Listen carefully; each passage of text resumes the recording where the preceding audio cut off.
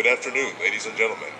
The United States Army, represented by the Commander-in-Chief's Guard, Company A, 4th Battalion, 3rd United States Infantry Regiment, the Old Guard, is proud to present this special performance. With a heritage of service that spans over two centuries, the 3rd United States Infantry Regiment, the Old Guard, has a unique dual mission. It is the Army's official ceremonial unit and escort to the President in Washington, D.C. It is also entrusted with the responsibility of protecting our nation's capital during times of national emergency as part of the Joint Force Headquarters National Capital Region. The infantrymen of Company A maintain tactical proficiency through training at Fort A.P. Hill, Virginia. The Old Guard's ceremonial duties include welcoming official guests to the Department of the Army, Department of Defense, and the President, guarding the tomb of the unknown soldier in Arlington National Cemetery, and performing in a variety of parades and community events.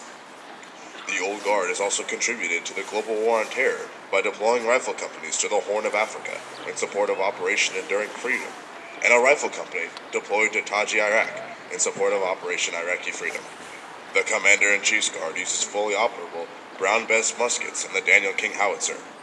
For today's demonstration, the howitzer and muskets are loaded only with black powder. During an actual battle, these muskets fired a 1 ounce, 3 quarter inch diameter lead ball creating a formidable wall of fire. Our performance will begin in just a moment.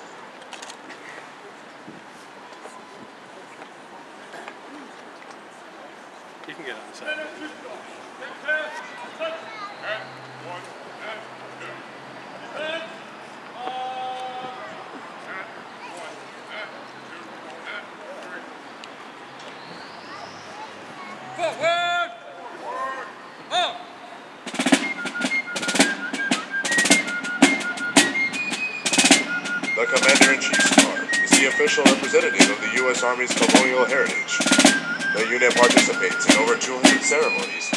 They are dressed in reproduction blue uniforms with red faces in accordance with General Washington's General Order of 2nd October 1779.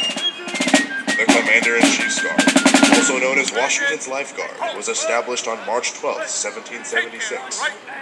General George Washington issued an order calling upon each of the 13 original states regiments to detail four soldiers each to serve as his personal bodyguard.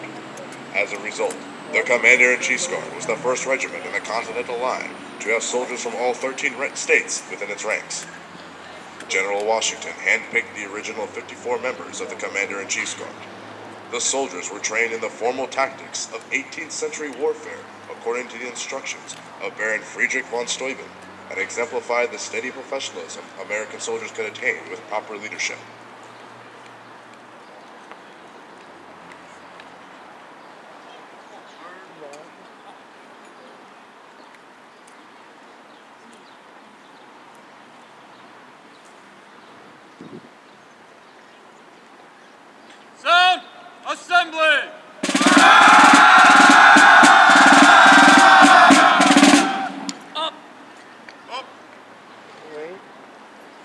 Majority of Continental soldiers were infantrymen. The infantryman was armed with a 12-pound .75 caliber smooth-bore Brown Bess musket. This was the standard weapon of the Continental soldier during the American Revolution. It is a flintlock muzzle-loading weapon with a maximum effective range of 80 to 100 yards. The bayonet weighs approximately one pound and has an 11 to 13 inch blade. The accoutrements he wears were prescribed for the Commander-in-Chief's Guard in 1776. His equipment consists of a cartridge box, which contains 24 paper cartridges of ammunition, a bayonet sling scabbard, and a wooden canteen designed to hold one quart of water. The Daniel King Howitzer section was a three to four soldier element. The Daniel King Howitzer was made of bronze and designed in Pennsylvania in 1776. Was the standard light artillery piece of Continental units during the American Revolution. Continental soldiers used various tools in order to fire the howitzer, to include the ladle, a small shovel that inserted the charge, the worm, a tool to pull out any stuck cartridges, the sponge and rammer, a tool to clear the barrel of any embers and pack this cartridge, and the linstock with slow match in order to light the charge.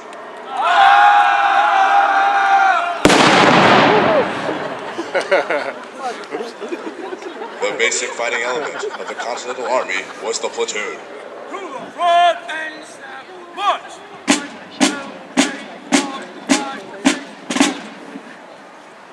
The platoon consisted of 10 to 20 men commanded by an officer armed with an espontoon and sword. First platoon is commanded today by First Lieutenant Ryan McCullum. Two platoons form a division. To the front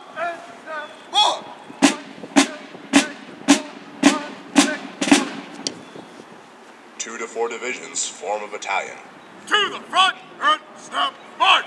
One, two, three, four, five, six, seven. The second division is commanded by First Lieutenant Michael Dwyer.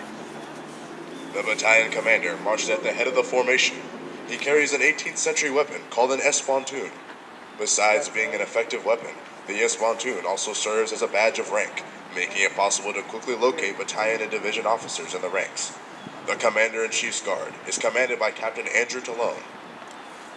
The senior sergeants, positioned to the rear of the formation, help maintain discipline and to keep the ranks dressed during an advance.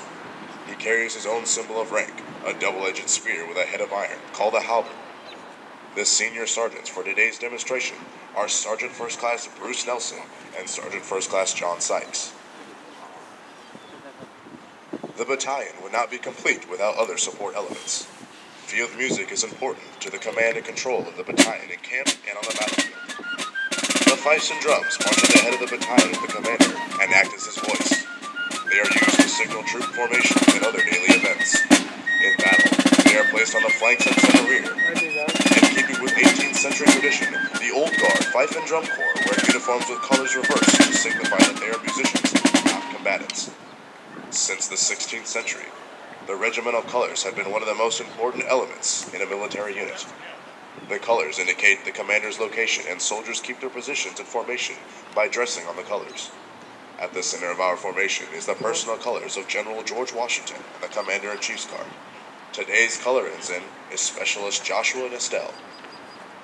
What you are about to witness is demonstration of 18th century battlefield tactics. Unlike the irregular militia that confronted British soldiers in Massachusetts in 1775, the Continental Army fought using the tactics of European professional soldiers. Imagine, if you will, you have just traveled back 239 years, and this American battalion is about to meet the approaching British regular infantry. To the front and snap. On. Two, three, four, five, six, seven. Take care and fire by division. Take ready. Take aim.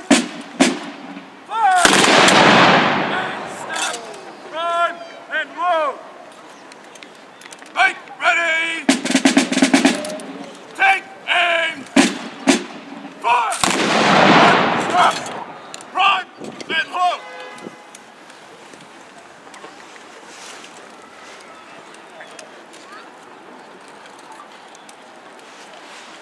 Find your gun.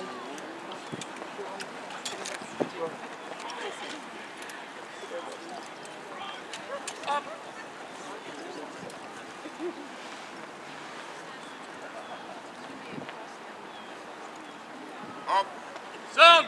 Cease fire.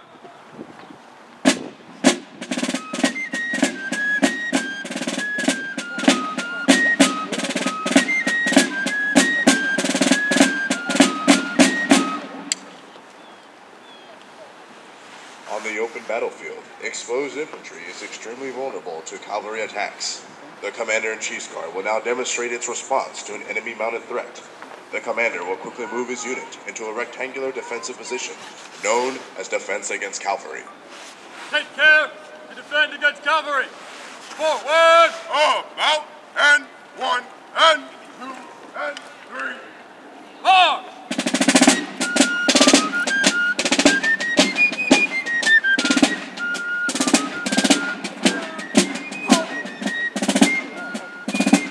They, uh, they'll shoot again when they get into a square. This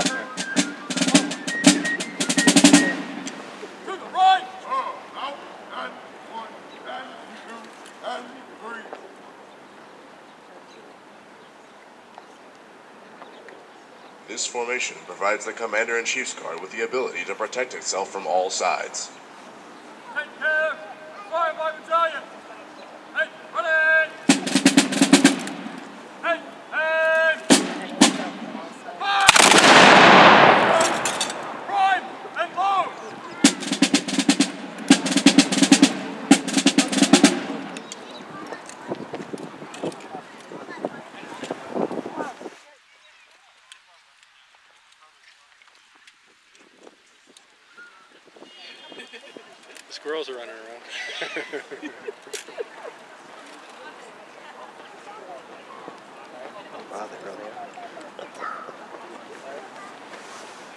The soldiers utilize the 18-inch bayonets affixed to their muskets to form a circle of sharpened steel and repel a direct horse-mounted assault on their formation. Charge! Bayonet! and one, and Having successfully defended against the cavalry attack, the Commander-in-Chief's Guard reforms the basic line formation to continue their attack. Advance! Five up! and two. Take care! Reform the line! Forward! Is that it for the shooting? Hold! There might have be one more.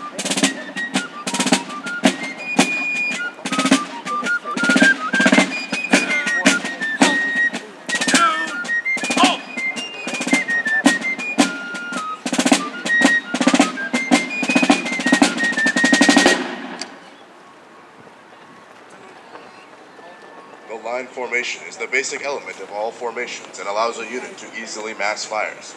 Seeing an opportunity to close with the enemy, the commander once again advances his unit, this time in an attempt to force the opposition from the battlefield. In preparation for his final assault, the commander will employ the Daniel King howitzer and musket fire to suppress the enemy on the battlefield. To the front! And snap! On!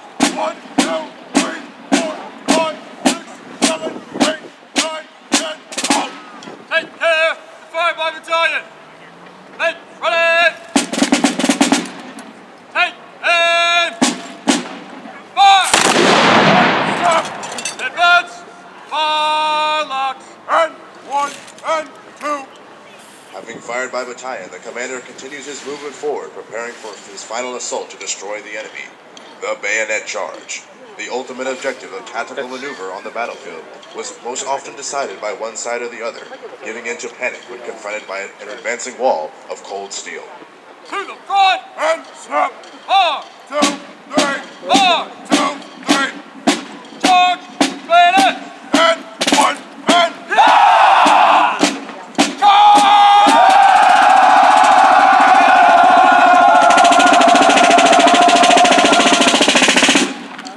Ladies and gentlemen, the Commander-in-Chief's Guard.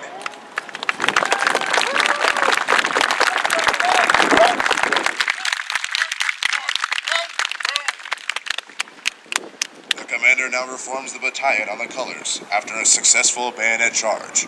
By 1779, the Continental Army's regular regiments had become formidable battlefield opponents whom the British and their Hessian allies hesitated to confront. In particular, their ability to stand their ground during British bayonet charges and then countercharge produced several victories during the latter part of the war and ultimately helped secure the independence of the United States. Once again, ladies and gentlemen, the Commander-in-Chief's